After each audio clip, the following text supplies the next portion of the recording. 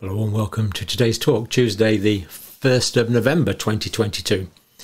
Now, yesterday we were looking at this report here, uh, basically from a committee of the American Senate. And this is basically saying that the, uh, the virus probably had a lab leak origin.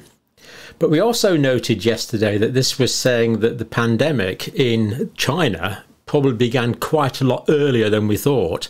And they were saying October, mid October to end of October, early November. But there's really quite severe question marks over this. Now, I know this doesn't really amount to uh, to research as such, but I've had hundreds, in fact, probably over the last year or two, thousands of people, thousands of you have uh, written in and emailed and commented that you were ill at the end of uh, 2019 for, for example, people in the UK, people in the United States, where officially the virus hadn't reached them yet. Now, I'm just going to give you a couple of examples. This one is from Andy. Now, I'm not going to give his second name because I haven't got full permission, but he has posted this in the comments. So, and again, this is typical of many I've been getting. My wife and I were in Wuhan in late September 2019 for three days. Our tour guides were ill, saying it was the worst flu they'd ever seen. My wife became very ill and could hardly breathe. She was taken to hospital. Now, this is September 19. Now, this sounds COVID ish when officially there was no COVID. On returning to Australia, she became ill again and we called an ambulance. She had major inflammation of the chest. Sounds familiar, doesn't it? She was a healthy dan dance instructor with no underlying health conditions. And Andy thinks this virus was cir circulating in July, August 2019, based on the accounts of people we met over there. So pretty interesting, Andy, and thank you very much for that. And I might give you some more examples later on, but let's look at some more data first. Now, this is uh, the Senator Richard Burr report on viral origins that we looked at yesterday, which is, is this one. Now, um, section three of this report, I'm not going to show you all on the uh, page, but uh, you can check out the reference. Section three of this report uh, is here, report on viral origins. Now, um, quite interesting, really. Uh, China's early COVID 19 vaccine development versus the US Operation Warp Speed. Now, what Senator Burr and his groupings are saying here is that China developed a couple of vaccines spookily quickly, really, really quickly. And is there significance to this? Well, let's look at the reasoning. So, um, section three of the report, read it for yourself. Warp speed, of course, the United States government threw basically billions of dollars, basically unlimited, wasn't it? You know, this was the United States going flat out. And uh, when the United States goes flat out on a research project, it goes flat out um, with its uh, impressive uh, capacities to do that. Now, the full genetic sequencing of the SARS coronavirus 2 virus was first posted globally on a database on the 11th of January, and the timeline here is important 11th of January 2020. It's a Chinese professor who violated government restrictions and was later severely sanctioned. Now, the question in my mind is if this professor hadn't leaked the uh, viral genome, how much longer would it have taken the Chinese authorities to release it to the world? We don't really know that. I mean, shortly after that, they came clean and came official because they had no choice. But um, anyway, so, so that's the 11th of January 2022. Then, vaccine developers inserted viral genome into cells to produce viral proteins.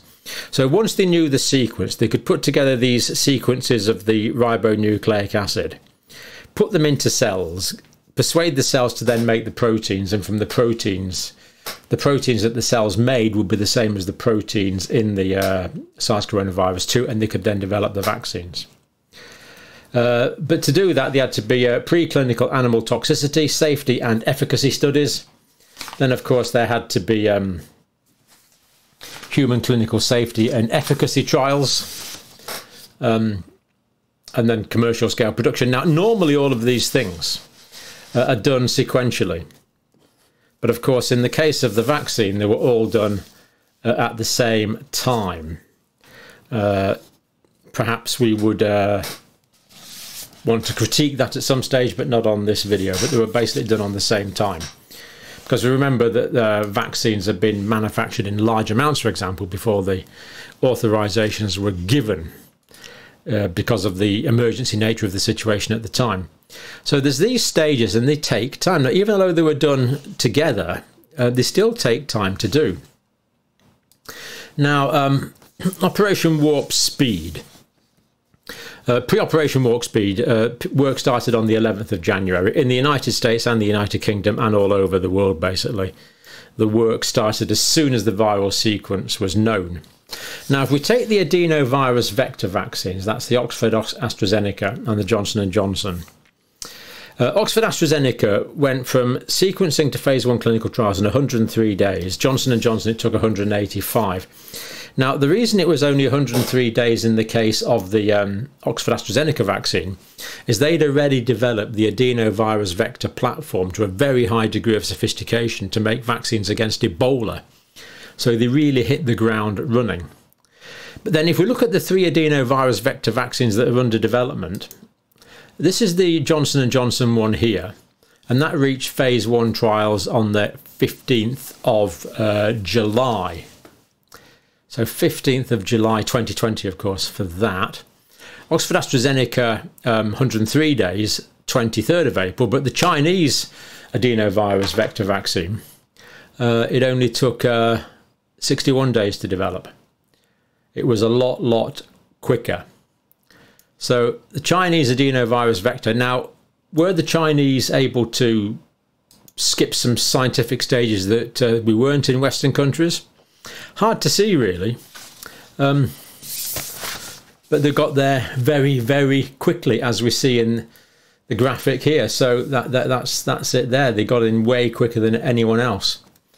18th of March, so 67 days for the Chinese there.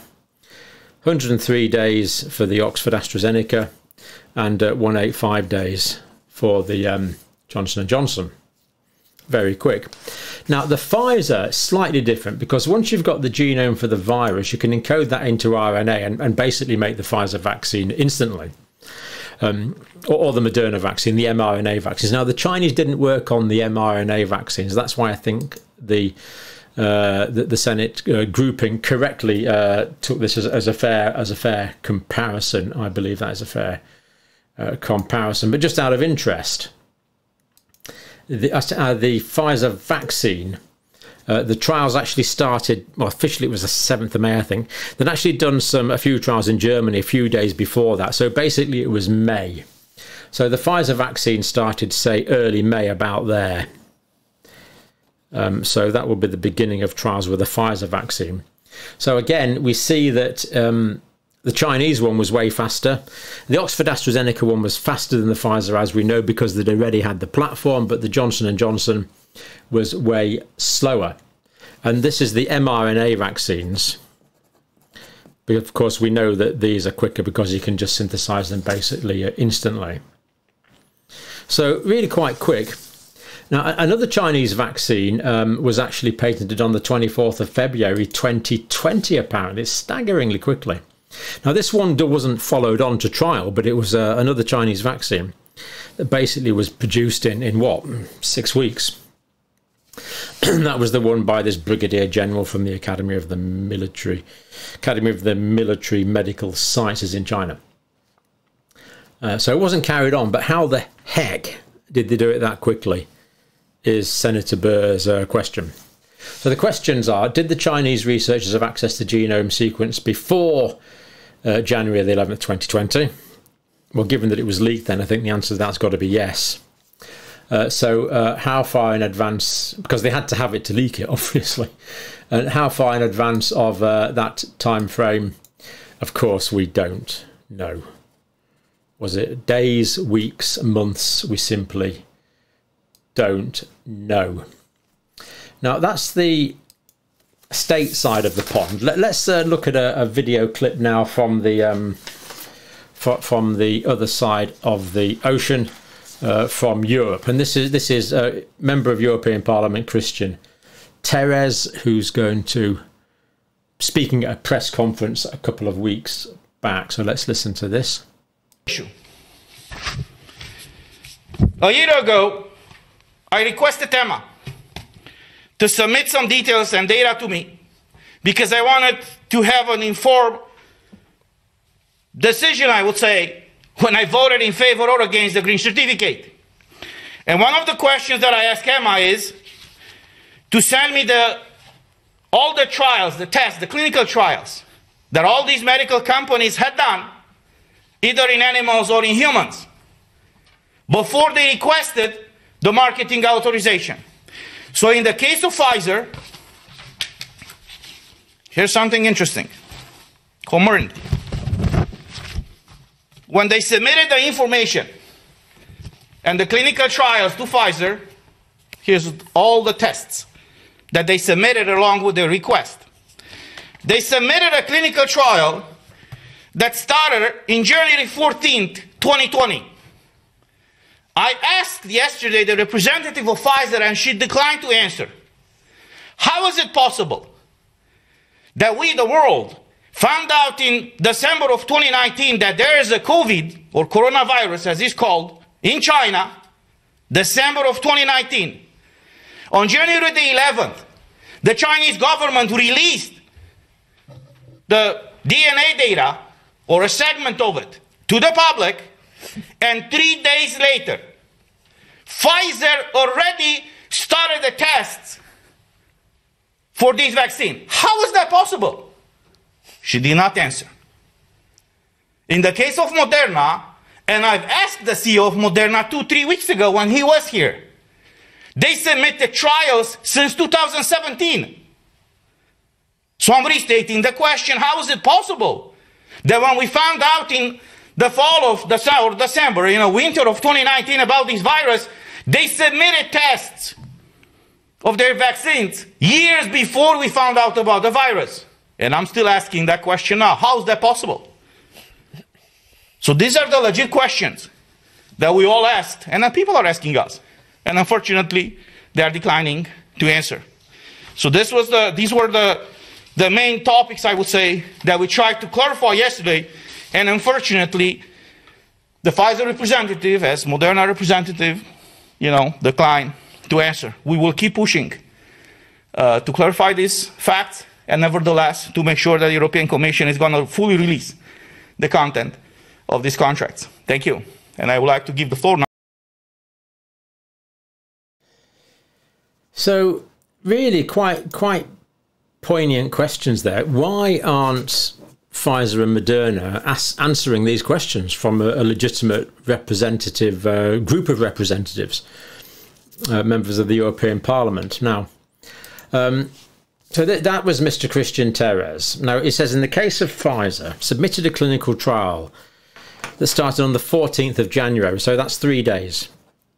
Three days later. So from that, we can see that Pfizer was pretty quick off the mark.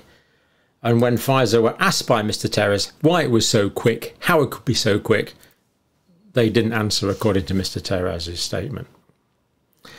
So pretty quick off the mark, didn't say how they will be so quick off the mark.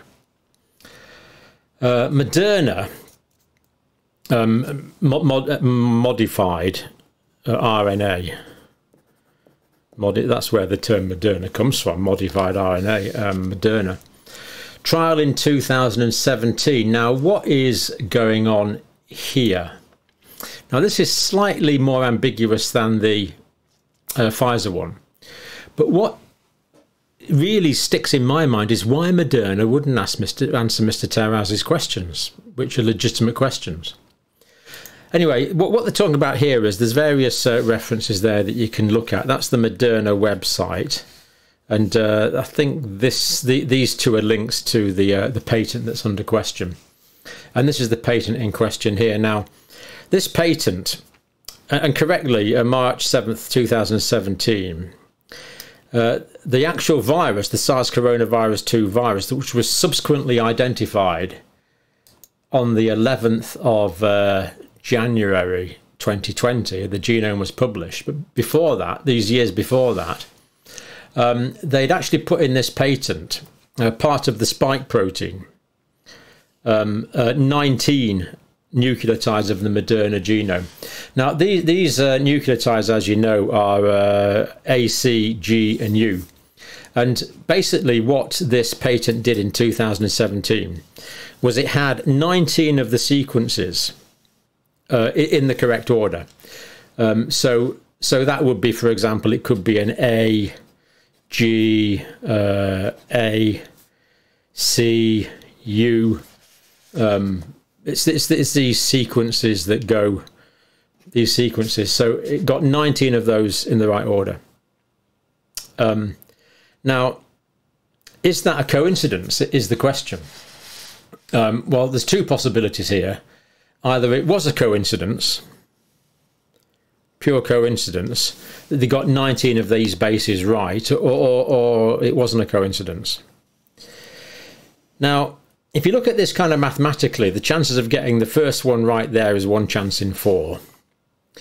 Uh, and then the chances of getting that one right is another one chance in four, and that's another one chance in four. And you multiply those together, and the odds of getting it right 19 times are, are tens of billions to one. Now, I'm not really commenting on this either way. Um, I don't really fully understand it, to be quite honest, how they would get 19 in the right sequence. But quite a few eminent people say that they could have it by pure coincidence. Um, there, there you go. That, that's basically all I know about it. I think that's what Mr. Terhes is, is referring to, as far as I am uh, aware. Um, but it does look like, to me, um, one heck of a coincidence. Um, but it could just be that. It could be coincidence. But I would have thought it's a pretty big one. So I think that's what Mr. Terhes was basing his reasoning on in terms of uh, in terms of Moderna in terms of Pfizer, it's clear cut that, that, the trial things was three days after. when Mr. Terhes was talking about Emma there, uh, he wasn't talking about his secretary or his wife. It's European Medicines Agency, of course. So he put in uh, official questions to Emma, the European Medicines Agency. Now I want to read you something from Tracy. Now listen, listen to this. This is really quite. This is really quite gripping. Um, now Tracy knows a man who, along with his wife, had COVID in late November um, or had symptoms in late November 2019 in San Diego, California, of course, United States. Now, remember, this is November 19, before the pandemic really officially started, even, well, officially, probably, yeah.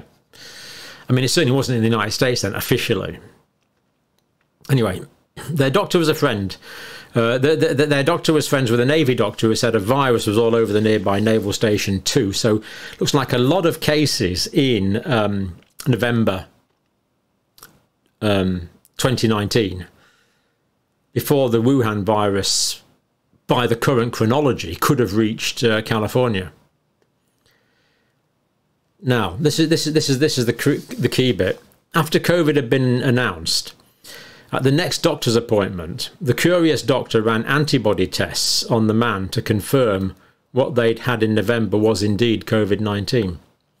So this illness occurred in November 19, and then in uh, early 2020, it was found that the individual was antibody positive for the SARS coronavirus 2. Um, now, okay, these are anecdotes, but I've had hundreds of them no, no over, over, the last few years, several thousand, quite, quite a few thousand. Uh, Tamida, for example, also, also from the States, I think. Many of us knew something was wrong in 2019. I had absolutely the worst flu-like symptoms I've ever, ha ever had in my life back in November 2019. Again, November 2019. Symptoms that affected my heart and sent me to the ER once and a cardiologist twice. So literally thousands of you have had this bad illness. Now, why haven't these antibody studies been fully done? Um, it's too late now. Of course, the antibodies will have will have gone. And even if it was possible to do very sensitive tests for antibodies now, um, of course, people have been subsequently infected. Now, having said that, uh, to respond to Tamado, I mean, when you do have proper influenza, you are very, very, very, very ill. Um, I had influenza. I had bad influenza in '92, I think it was '91, '92, and I couldn't. I couldn't. I couldn't. Well, I was going to say I couldn't get out of bed, but there was one stage where I couldn't get into bed. I was lying on the bedroom floor groaning. it was just so ill. Um, so you can be very ill. So it's not not conclusive, but very many of you had are convinced you had COVID in late 19 in Western countries, which would mean uh, that quite potentially, um, as as um, as Andy said, the the virus could have been circulating in July August, based on people's accounts in Wuhan. So interesting, uh, more to find out. Quite intriguing, really, and. Uh, we need to know the history of this because this has got huge implications. If it is the case that this virus was spreading in the United States in November 2019 and no one knew a thing about it, just think of the implications if there had been a more serious virus with an even higher uh, mortality rate than we now know that it has. Keeping an eye on this one, there's a big COVID inquiry going on now in the UK it's run by the government, so I'm not holding my breath. Um, but there could be interesting things to come. We're going to keep an eye on it. And uh, where would I put my money? Yeah, I, I think the virus was probably circulating in um, July and August in China. But that's just an opinion. You have yours. Let me know what you think, and thank you for watching.